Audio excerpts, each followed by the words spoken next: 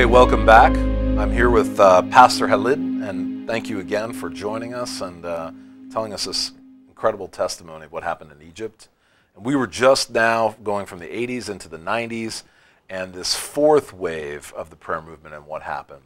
Uh, and I understand it was marked by what had happened in Uganda, actually.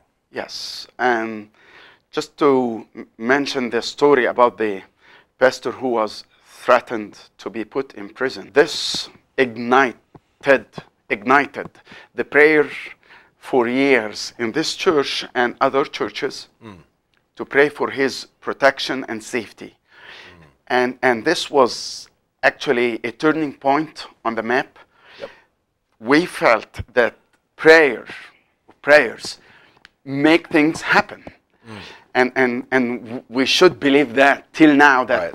it opened doors. Right. It, when we asked God for protection, it happened. Yes. And He answered. Uh, he He answers that prayers. prayer. He does. yeah. So this is what happened with the fourth wave with Pastor Minis Abdul Noor and his protection, and he was never been in jail just even for one night because of the. Awesome. And we believe that this was because of the prayer because he he was putting his bag and his Right. he was ready. and I understood he told his board, I'm, Oh, I'm yeah. going to leave, I'm resigning. He, he, he said that and, and, and he got some letters threatening letters and emails that we will burn down your church Ah. we will burn it down and he said i can't take this responsibility so he he gathered the board hmm. of elders and he said i'm resigning. And the board said they will burn it down and we will rebuild it build it again. I love that. and this was a sign of god's hand hmm. that, that god is about to do something. And here comes the fourth wave. The first wave was with the Korean church. We had this experience. The fourth wave with the Ugandan church, we, we, we got to know at that time, to hear and to know Pastor Mulinde and Pastor Michael Kimoli. Yep. And we invited them to come to Egypt for prayer conferences, teaching, and seminars, workshops, and so many things. And And this was in the 90s. yeah, yeah, it was in the 90s, and it started actually before mm, mm, Pastor Mulinde and Kimoli. We felt that, that the prayer movement is going down a plateau Plateaued. plateau uh, stage. Yep. It was Less growth. yeah, it, it was okay. It was just running prayer meetings, Yep. Running prayer conferences. Right. But it wasn't like it didn't have this fire. Mm-hmm. So when we when we invited Pastor Mulinde and Kimoli, the fire came back, and actually we were struggling to keep the prayer meetings even in our church. Right. But but when they came to our country, we felt that, that this was God sent people to our land and to our nation uh, for, for a new mm, uh, revival. Literally, it was a revival of the prayer movement in Egypt at that time, and it was it was it, it went beyond the the boundaries of a local church Okay. it was really a wave, an overwhelming wave to so many churches. Did it mark a beginning of a unity movement across the churches and across the leaders? Yes, yes, but in the fifth wave that we will come to it soon, we will talk about the unity in, in, a, in a beautiful way. Oh, great. But this, yes, we, we started to taste that, to smell it. Yes. but but uh, yeah, it revived the, the prayer movement everywhere, and not just with the young people. With everybody, um, the ages and some of the denominations and so forth. Yeah. Very good. So, talk about the fifth wave. Okay. The fifth wave. This one was made in Egypt, as a continuation, of course, of the fourth wave, which is the Ugandan influence. Transformational wave, yeah. But this wave, it, it was the local leaders and the pastors, not all of them, but Great. some of the pastors of the church, Just, just to jump back for one moment back to the prior wave, um, uh, you said to me earlier that uh, the decisions of this country are in the hands of the prayer warriors Oh, and yeah. the intercessors. So talk about that a little bit, just to go back, because I know Yeah. that was so great. Oh, I just wanted the audience to hear it. Yeah. uh, What happened that, that Pastor Mulinde and Kimoli, Yes. they, they challenged us Okay. to pray for the land and to pray for the people and the government and the regime. And they said to us for the first time to hear that, that the, the, the, The future. yeah, the future and the keys of the, decisions of this land won't be with the politicians. The, the decisions would the decisions would be made in the prayer rooms with the in the prayer conferences in, in, in- with the believers, not the, with the politicians. And we took that seriously and we started to pray. So it was like a wave of faith came on the oh, church. Oh yeah, definitely. And we started to pray for education, for the education in Egypt. We started to pray for the economy. Yep. We started to pray for the media. Everything. Big things. everything outside hmm.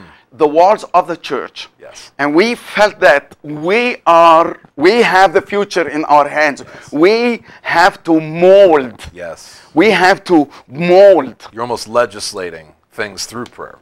Exactly. Exactly. Even we were envisioning changes in the government, in the, the process of the decision making with the politic, Yep. political arena to be started here in prayers. Right.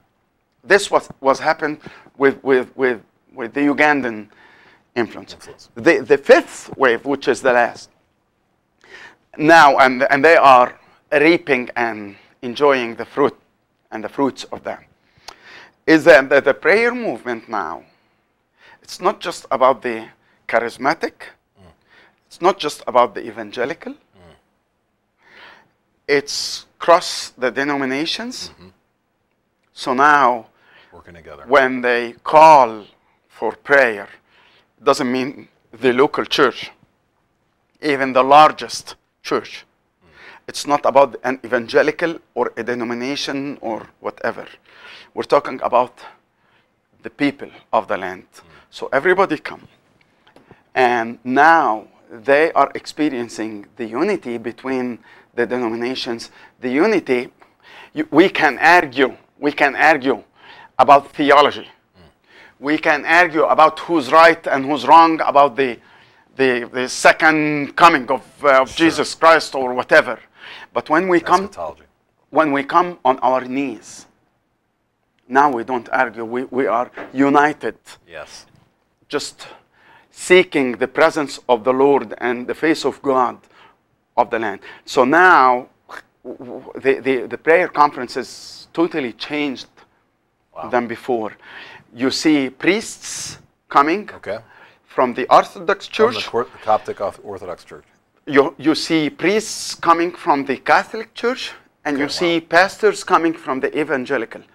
Of course, we have this ecumenical movement or Yes. ecumenical protocol uh, meetings that Sure. we so this archbishop coming to meet with the other archbishop coming to meet with the archpastor and this was just a protocol and we're saying we're playing nice we're Right. playing nice playing nice is not unity Yes. but when we pray together Ah. we are just melting together in just one pot The most important thing.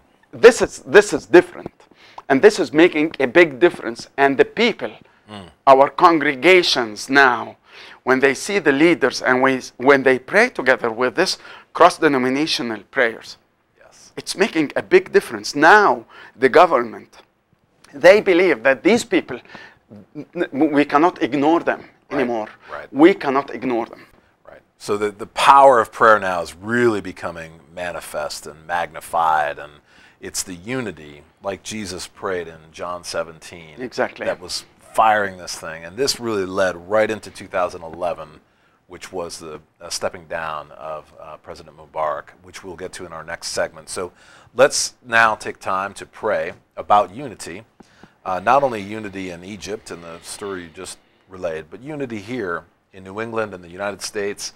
And uh, let's let's just draw upon what Jesus said in John 17. So, Father, we just thank you for uh, your Son uh, coming to die for us.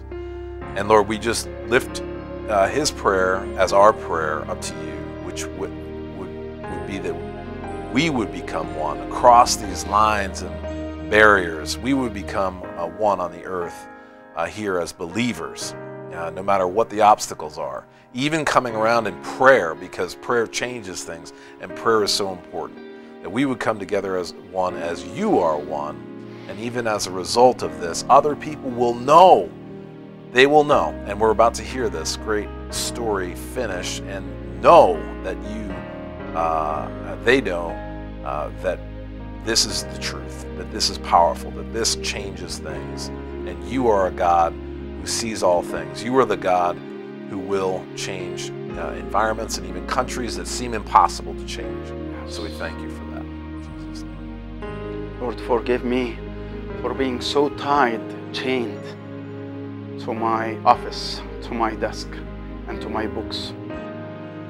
Forgive me for being encapsulated in this local church minded and give me give me the kingdom mentality and kingdom mindset and to build bridges and to go the extra mile with other churches and for other churches as well to be um, an answer and a fulfillment of your prayers in John 17.